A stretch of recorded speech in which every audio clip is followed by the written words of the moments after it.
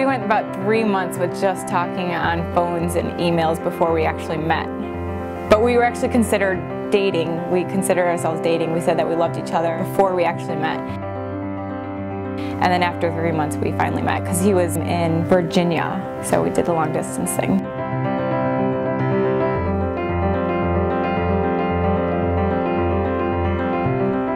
I'm looking forward to seeing her for the first time today. That's the only thing that I've been nervous about this entire time. Seeing him doing our first look, it's going to be a lot of fun. We've done so many weddings. It's, it's nice to be in this position finally and have our time.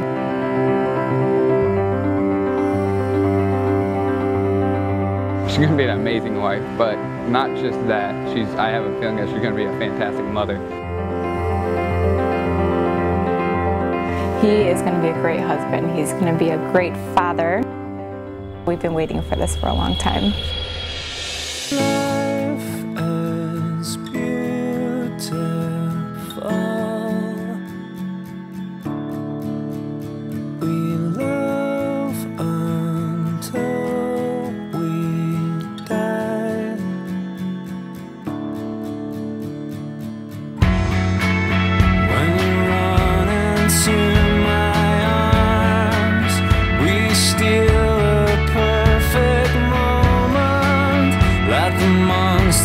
See you smile. Let them see you smile.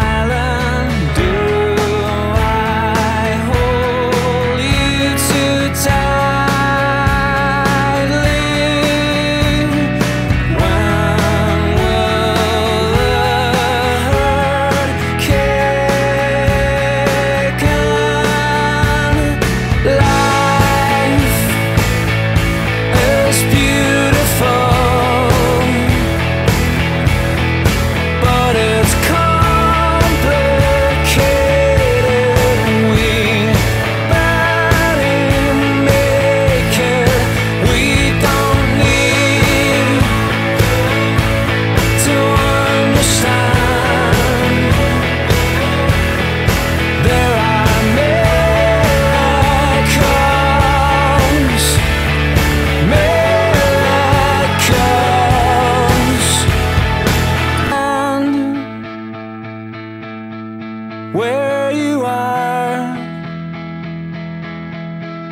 We let all